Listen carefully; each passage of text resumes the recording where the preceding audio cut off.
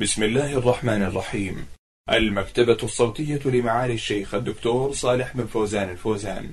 حلقات تبث في إذاعة القرآن الكريم. من أحكام الصيام. الدرس الأول. بسم الله الرحمن الرحيم. الحمد لله رب العالمين والصلاة والسلام على أشرف الأنبياء والمرسلين نبينا محمد وعلى آله وصحبه أجمعين. أيها الإخوة الكرام السلام عليكم ورحمة الله وبركاته وطابت أوقاتكم بكل خير وجعلها عامرة بذكر الله عز وجل. نرحب بكم في مستهل حلقات هذا البرنامج الذي نسأل الله سبحانه وتعالى أن ينفع به الجميع. سائلينه عز وجل أن يتقبل منا ومنكم الصيام والقيام.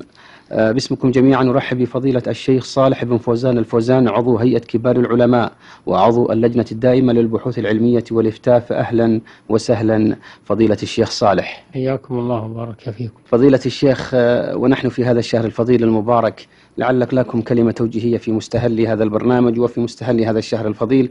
آه، بالنسبة للمسلمين كيف يستقبلون شهر رمضان المبارك؟ بسم الله الرحمن الرحيم الحمد لله رب العالمين صلى الله وسلم على نبينا محمد وعلى آله وأصحابه أجمعين. شهر تضاعف فيه الحسنات وتغفر فيه السيئات ترفع فيه الدرجات. شهر تصفد فيه الشياطين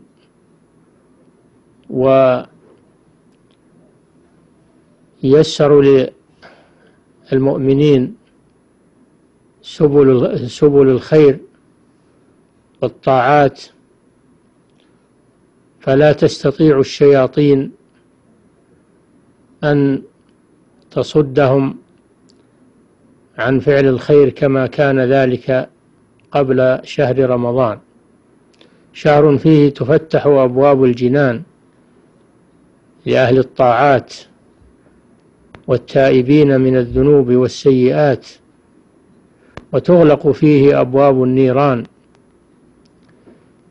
فلا يتسلط الشيطان على عباد الله ويقودهم إلى النار بالشهوات والمخالفات.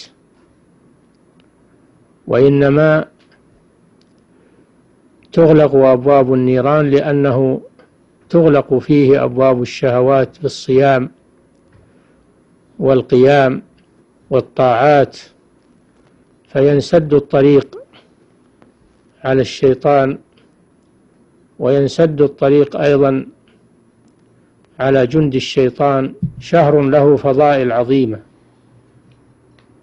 فينبغي للمسلم أن يستقبله بالبشر والفرح والسرور. وأن يستقبله بالتوبة والاستغفار. وأن يتهيأ لدخوله تهيؤ الصالحين للعبادة والاستقامة واغتنام لياليه وأيامه بالعبادات والطاعات فإنه موسم عظيم. وهو شاهد لهذه الأمة بما تودعه فيه من الخير أو شاهد على من قصر فيه وضيعه يشهد عليه يوم القيامة. فينبغي للمسلمين أن يقدروا لهذا الشهر قدره وأن يعرفوا له قيمته وأن يجتهدوا فيه بما يباعدهم من النار ويدخلهم الجنة. فإنه موسم عظيم لمن وفقه الله. نسأل الله عز وجل أن يبلغنا وإخواننا المسلمين هذا الشهر وأن يمكننا من فعل الطاعات وتجنب المحرمات وأن يجعله شاهدا لنا لا علينا عنده إنه سميع قريب. أثابكم الله فضيلة الشيخ صالح. وبالنسبة للسنة المتبعة في من رأى هلال رمضان كان النبي صلى الله عليه وسلم إذا رأى هلال رمضان فإنه يدعو فيقول ربي وربك الله هلال خير ورشد اللهم أهله علينا بالسلامة والإسلام والأمن والإيمان. هذا بالنسبة لما يقال عند رؤية الهلال. أما بالنسبة لمن رأى الهلال وتيقن من رؤيته فإنه يجب عليه أن يبلغ ولي الأمر المتمثل بالمحكمة الشرعية في أي بلد لتثبت شهادته ثم يعلن للمسلمين بداية صيام هذا الشهر. فيكون له في ذلك الأجر. لأن وكذلك ينبغي للمسلمين أن يتراءوا الهلال في هذه الليلة ويحرصوا على رؤيته. لقول ابن عمر رضي الله تعالى عنه تراءى الناس الهلال على عهد رسول الله صلى الله عليه وسلم فأخبرته أني رأيته. فقال فصام النبي صلى الله عليه وسلم وأمر الناس بالصيام. نعم. آه، أثابكم الله. بالنسبة لاختلاف المسلمين في دخول شهر رمضان وخروجه كيف نؤصل ذلك شرعا؟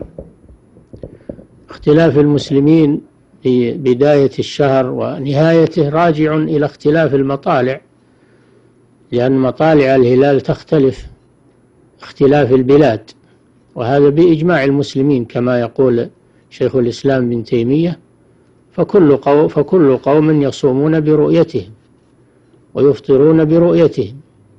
قوله صلى الله عليه وسلم صوموا لرؤيته وأفطروا لرؤيته فإن غم عليكم فاقدروا له. في رواية فأكملوا عدة شعبان ثلاثين يوما. و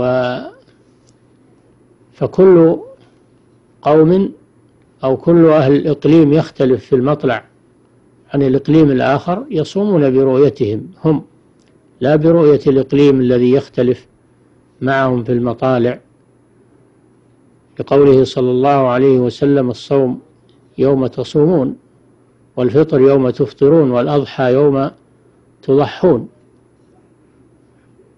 وجاء رجل من الشام إلى المدينة في عهد عبد الله بن عباس رضي الله عنه فقال إن معاوية وأهل الشام صاموا يوم كذا وكذا. فقال عبد الله بن عباس لكننا لا نصوم حتى نرى الهلال. نعم. حفظكم الله. بالنسبة لمن صام أول رمضان في المملكة العربية السعودية وعاد إلى بلاده في آخر شهر رمضان المبارك وكانوا متأخرين في دخول شهر رمضان كيف يكون وضعه فضيلة الشيخ؟ حكمه حكم القوم البلد الذي قدم عليه. يصوم معهم ويفطر معهم. وإن كان نقص عن تسع وعشرين يوما فإنه يفطر معهم. ويصوم هذا اليوم يكمل تسع والعشرين يصومه بعد العيد قضاء. نعم. آه، بالنسبة فضيلة الشيخ لحديث صوموا تصحوا ما مدى صحة هذا الحديث؟ هذا حديث ضعيف ولكن معناه صحيح أن الصوم فيه صحة للبدن لأنه يقلل من تناول الشهوات ومن أخلاط الطعام في المعدة ويسهل على المعدة هضم الطعام فيكون في ذلك صحة للبدن بلا شك. وكذلك كل شرائع الإسلام ولله الحمد كلها خير وكلها بركة وكلها صحة للأبدان وقوة للإيمان. نعم. حفظكم الله هل هناك دعاء معين للصائم آه، يتلفظ به عند إفطاره؟ لم يثبت شيء في ذلك معين. ولكن جاء أن للصائم عند فطره دعوة لا ترد. وورد أن أن الصائم يقول عند الإفطار اللهم لك صمت على رزقك أفطرت. اللهم يا واسع المغفرة اغفر لي كما كان ابن عمر رضي الله عنهما يقول ذلك. ورد عن النبي صلى الله عليه وسلم أنه بعد الإفطار يقول ذهب الظمأ وابتلت العروق وثبت الأجر إن شاء الله. نعم. أثابكم الله بالنسبة لتبييت النية لصيام آه، رمضان. هل هو شامل لجميع الأيام أم لكل يوم بنية واحدة؟ المسلم يصوم أنه المسلم ينوي أنه يصوم رمضان من أول ما يدخل بنية عامة. نعم. ثم ثم ينوي لكل يوم قبل الفجر أنه سيصوم هذا اليوم لأن كل يوم عبادة مستقلة. ولقوله صلى الله عليه وسلم لا صيام لمن لم يعزم النية من الليل. هذه النية هل يتلفظ بها؟ النية محلها القلب ولا يتلفظ بها وإنما ينوي بقلبه لأنه لم يرد عن النبي صلى الله عليه وسلم ولا عن أصحابه أنهم كانوا يتلفظون بالنية. التلفظ بالنية بدعة. نعم. أثابكم الله فضيلة الشيخ وبارك الله فيكم وفي علمكم وفي نح وفي ختام هذه الحلقة. نسأل الله سبحانه وتعالى أن يبارك بكم وأن يجعل ذلك في ميزان حسناتكم. أيها الإخوة الكرام كان معكم خلال الدقائق الماضية فضيلة الشيخ صالح بن فوزان الفوزان عضو هيئة كبار العلماء وعضو اللجنة الدائمة للبحوث العلمية والإفتاء وقد أجاب على أسئلة البرنامج. نسأل الله سبحانه وتعالى أن ينفعنا بما سمعنا وأن يتقبل منا ومنكم الصيام والقيام. على خير نلتقي. والسلام عليكم ورحمة الله وبركاته.